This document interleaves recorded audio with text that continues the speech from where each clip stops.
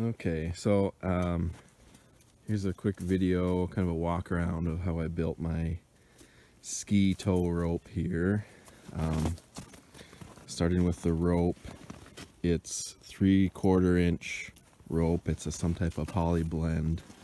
Um, it's 600 feet of rope, so doubled up, you know, down and back, it's 300 feet.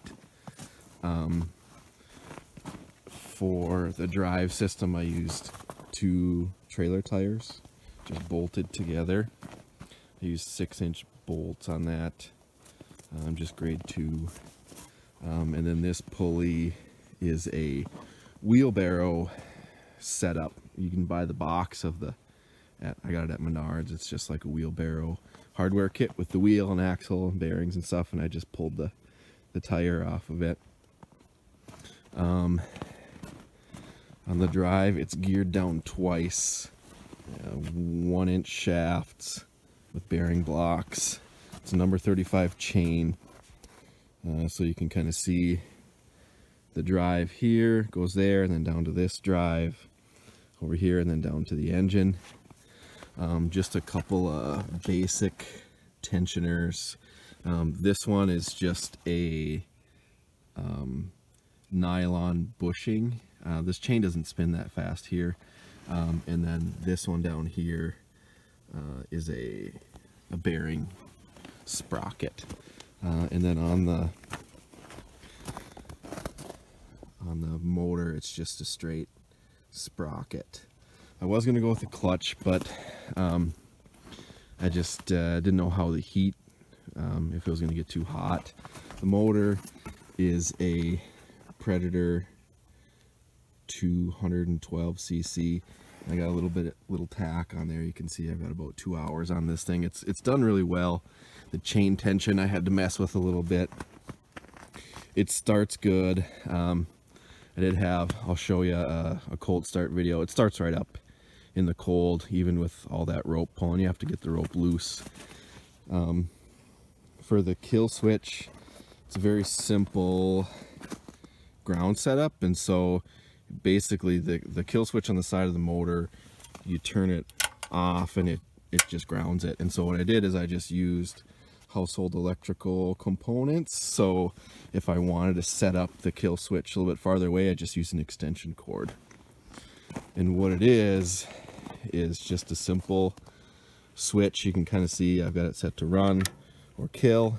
Um, and then when it's in position, I got this rope going across here um, so when you hit it, or when you touch the rope, it's pretty sensitive. It just kills it.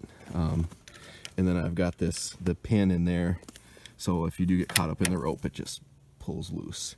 It kills it pretty quick. Um, it only pulls a couple of feet in. Um, so I've got plenty of space if I wanted to space this out farther. Um, so if you get tangled up, it'll you'll have more than enough time to kill the motor before you get you really shouldn't get tangled up much in this.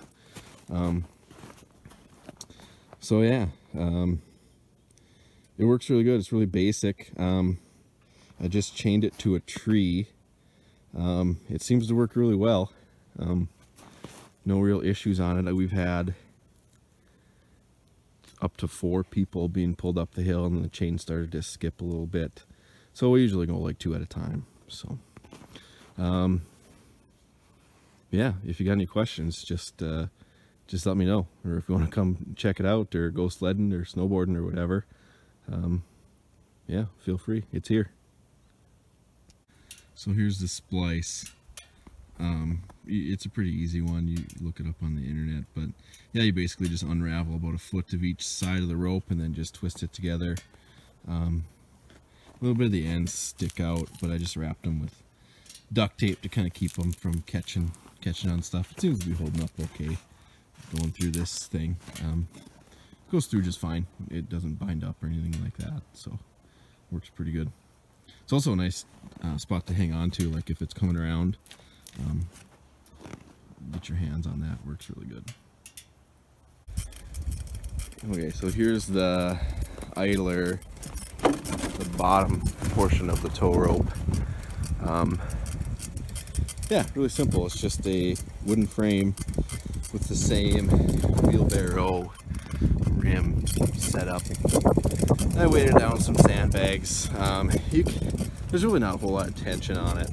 You don't really need much. Um, I can pull a little bit more if need be, but I've noticed it, it's just fine. There's, I think these sandbags are 60 pounds a piece, six of them, so 360 pounds. Um, yeah, it's real simple. And here I'll watch, here's the, here's the splice coming through and you can kind of see how the splice, yeah, it's nothing. The splice just goes through, um, just right around that. So works really good, nice and quiet. Um, yeah.